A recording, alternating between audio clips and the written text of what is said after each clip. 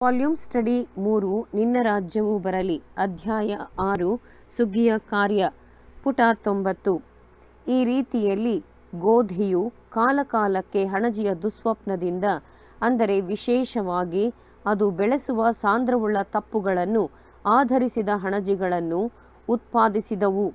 ಇವುಗಳಿಂದ ಬಿಡುಗಡೆ ಹೊಂದಲು ಶ್ರಮಿಸುತ್ತಿದ್ದರೂ, ಅದರ ಪ್ರಯತ್ನಕ್ಕೆ ಆಶೀರ್ವಾದ ಸಿಕ್ಕಿದರೂ, ಅವರು ಇನ್ನೂ ಸಹ ವಿಶಾಲವಾಗಿ ಪ್ರಬಲವಾಗಿರುವ ಹಣಜಿಯ ಮೂಲ ವಸ್ತುವಿನ ಪ್ರಭಾವದಲ್ಲಿ ಸಿಲುಕಿಕೊಂಡಿದ್ದರು.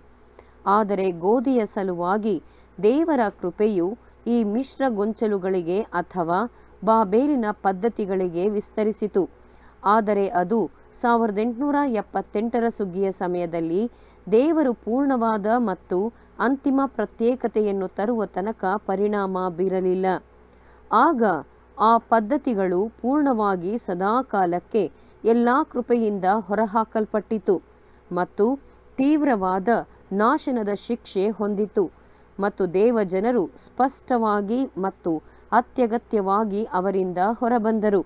ಯುಗದ ಪ್ರಾರಂಭದಲ್ಲಿಯೇ ದೇವಜನರನ್ನು ಕ್ರಿಸ್ತ ವಿರೋಧಿಯ ವಂಚನೆಗಳ ಬಗ್ಗೆ ಎಚ್ಚರಿಸಲಾಗಿದ್ದು, ಅವರಿಂದ ಪ್ರತ್ಯೇಕವಾಗುವಂತೆ ಕಲಿಸಿಕೊಡಲಾಗಿತ್ತು.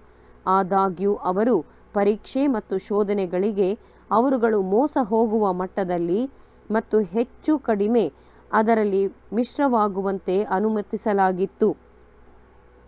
ಕ್ರಿಸ್ತೀಯವಲ್ಲದ ವಿಚಾರಣಾ ಸರಣಿಗಳು ಮತ್ತು ಸಿದ್ಧಾಂತಗಳ ಗ್ರಹಿಕೆಯ ಬಗ್ಗೆ ಮಾಡಿದ ಪ್ರತಿಯೊಂದು ಎಚ್ಚರಿಕೆಯು ಸುಧಾರಣಾ ಮಟ್ಟಕ್ಕೆ ನಡೆಸಿದವು ಮತ್ತು ಗೋಧಿ ವರ್ಗದವರನ್ನು ಪರೀಕ್ಷಿಸಿ ರುಜುವಾತುಪಡಿಸಿದವು ಮತ್ತು ತಮ್ಮನ್ನು ಹೆಚ್ಚು ಹೆಚ್ಚಾಗಿ ಕ್ರಿಸ್ತ ವಿರೋಧಿಯಿಂದ ಶುದ್ಧೀಕರಿಸಿಕೊಳ್ಳುವಂತೆ ಸಹಾಯ ಮಾಡಿತು. ಆದರೆ ಈ ಕಡೆಯ ಪರೀಕ್ಷೆ ಮತ್ತು ಸಕಾರಾತ್ಮಕ ಕರೆಯು ಆ ವ್ಯವಸ್ಥೆಯ ಸ್ಪಷ್ಟವಾದ ನಿರಾಕರಣೆಯೊಂದಿಗೆ ಜೊತೆಗೂಡಿದ್ದು, ಅದರೊಂದಿಗೆ ಗೋಧಿ ಇದ್ದಾಗ ಪಡೆದುಕೊಳ್ಳುತ್ತಿದ್ದ ದೇವರ ಕೃಪೆಯನ್ನು ಇನ್ನು ಮುಂದೆ ಹೊಂದಿಕೊಳ್ಳಲು ಆಗಿರಲಿಲ್ಲ. ಇದು ಎಲ್ಲ ಕ್ರಿಸ್ತ ವಿರೋಧಿ ಪದ್ಧತಿಗಳಿಂದ ಮತ್ತು ವಿಚಾರ ಸರಣಿಗಳಿಂದ ಅಂತಿಮ ಪ್ರತ್ಯೇಕತೆಯಾಗಿತ್ತು. ಆ ಹಳೆಯ ಪದ್ಧತಿಗಳು ಈ ಹಿಂದೆ ಹೊಂದಿಕೊಂಡಿದ್ದ ಸತ್ಯತೆಗಳನ್ನು ಈಗ ತ್ವರಿತವಾಗಿ ಅವರಿಂದ ಗುಡಿಸಿ ಹಾಕಲಾಯಿತು. ಮಾನವನ ವಿಚಾರಣಾ ಸರಣಿಗಳಿಂದ ಸ್ಥಳಾಂತರಿಸಲ್ಪಟ್ಟಿತು. ಅವು ದೈವಿಕ ಸತ್ಯದ ಎಲ್ಲ ಅಂಶಗಳನ್ನು ಬುಡಮೇಲು ಮಾಡುವುದಾಗಿತ್ತು.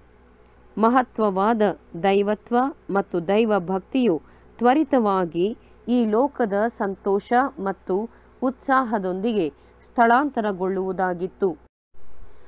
ಬಾಬೇಲ್ ಬಿದ್ದು ಹೋಯಿತು ಎಂಬ ಘೋಷಣೆಯೊಡನೆ ಆಕೆಯಲ್ಲಿ ಇನ್ನೂ ಇರುವ ದೇವಜನರಿಗೆ ಹೊರಬರುವಂತೆ ಒಂದು ಆಜ್ಞೆ ಸಹ ಬರುತ್ತದೆ. ಪರಲೋಕದಿಂದ ಬಂದ ಮತ್ತೊಂದು ಶಬ್ದವನ್ನು ಕೇಳಿದೆನು. ನನ್ನ ಪ್ರಜೆಗಳೇ, ಅವಳನ್ನು ಬಿಟ್ಟು ಬನ್ನಿರಿ. ನೀವು ಅವಳ ಪಾಪದಲ್ಲಿ ಪಾಲುಗಾರರಾಗಬಾರದು. ಅವಳಿಗಾಗುವ ಉಪದ್ರವಗಳಿಗೆ ಗುರಿಯಾಗಬಾರದು. ಪ್ರಕಟಣೆ ಹದಿನೆಂಟು, ನಾಲ್ಕು. ಬಾಬೇಲ್ ಬಿದ್ದಿತು. ನನ್ನ ಪ್ರಜೆಗಳೇ, ಆಕೆಯನ್ನು ಬಿಟ್ಟು ಬನ್ನಿರಿ ಎಂಬ ಹೇಳಿಕೆಯು ನಿಜವಾಗಿ ಎರಡು ಆಲೋಚನೆಗಳನ್ನು ಗುರುತಿಸುತ್ತದೆ ಮತ್ತು ಅವುಗಳನ್ನು ಸ್ಪಷ್ಟವಾಗಿ ನೆನಪಿನಲ್ಲಿಟ್ಟುಕೊಳ್ಳಬೇಕು. ಅದು ಸೂಚಿಸುವುದೇನೆಂದರೆ, ಒಂದು ಸಮಯದಲ್ಲಿ ಬಾಬೇಲ್ ದೇವರ ಕೃಪೆಯಿಂದ ಬಿದ್ದು ಹೋಗಿರಲಿಲ್ಲ. ಕೆಲವು ಸಮಯದಲ್ಲಿ ಆಕೆಯು ಕೃಪೆಯ ಒಂದು ಮಟ್ಟವನ್ನು ಕಾಪಾಡಿಕೊಂಡಿದ್ದಳು. ಆದಾಗ್ಯೂ, ಆಕೆಯ ಮಿಶ್ರ ಗುಣವನ್ನು ತೆಗೆದುಕೊಳ್ಳಲಾಗದಿದ್ದರೂ, ಅದನ್ನು ತಡೆದುಕೊಳ್ಳಲು ಆಕೆಯು ಹಿಡಿದಿದ್ದ ತಪ್ಪಿನ ಪ್ರಮಾಣವು ಎಷ್ಟೇ ದೊಡ್ಡದಾಗಿದ್ದರೂ, ಕ್ರಿಸ್ತನ ಕೃಪೆಯು ಸ್ವಲ್ಪ ಮಟ್ಟಿಗೆ ಮಾತ್ರವೇ ಪ್ರಕಟಗೊಂಡಿದ್ದಾಗ್ಯೂ, ಆಕೆಯಲ್ಲಿ ಸುಗ್ಗಿಯ ಪ್ರತ್ಯೇಕತಾ ಕಾಲ ಬರುವವರೆವಿಗೆ ದೇವರ ಕೃಪೆಯಿಂದ ಸಂಪೂರ್ಣವಾಗಿ ಹೊರಹಾಕಿರಲಿಲ್ಲ.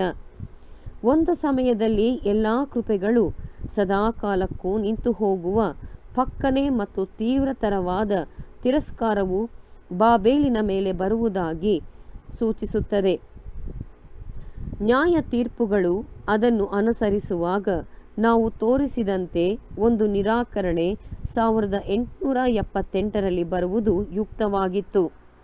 ಅದು ಮತ್ತೂ ಸೂಚಿಸುವುದೇನೆಂದರೆ ಬಾಬೇಲಿನ ನಿರಾಕರಣೆಯ ಸಮಯದಲ್ಲಿ ಅನೇಕ ದೇವರ ಜನರು ಬಾಬೇಲಿನೊಂದಿಗೆ ಜೊತೆಗೂಡಿರುತ್ತಾರೆ. ಆದರೆ ಬಾಬೇಲಿನ ನಿರಾಕರಣೆಯ ನಂತರದಲ್ಲಿ ಅಥವಾ ಕೃಪೆಯಿಂದ ಬಿದ್ದು ಹೋದ ನಂತರದಲ್ಲಿ ಅವರಿಗೆ ನನ್ನ ಜನರೇ, ಬಾಬೇಲನ್ನು ಬಿಟ್ಟು ಬನ್ನಿರಿ ಎಂಬ ಕರೆ ಬರುತ್ತದೆ. ಕಳೆದ ನಾನೂರು ವರ್ಷಗಳಲ್ಲಾದ ಅನೇಕ ಹಂತ ಹಂತವಾದ ಸುಧಾರಣಾ ಚಳುವಳಿ ಮತ್ತು ಈಗಿನ ಅಂತಿಮವಾದ ಸಂಪೂರ್ಣ ಬೇರ್ಪಡಿಸುವಿಕೆ ಇವುಗಳ ವ್ಯತ್ಯಾಸವನ್ನು ಸ್ಪಷ್ಟವಾಗಿ ಗ್ರಹಿ, ಗ್ರಹಿಸಿಕೊಳ್ಳತಕ್ಕದ್ದು. ಅವರುಗಳು ಬಾಬೇಲನ್ನು ಸುಧಾರಿಸುವ ಪ್ರಯತ್ನಗಳಿಗೆ ಅನುಮತಿಸಲಾಗಿತ್ತು.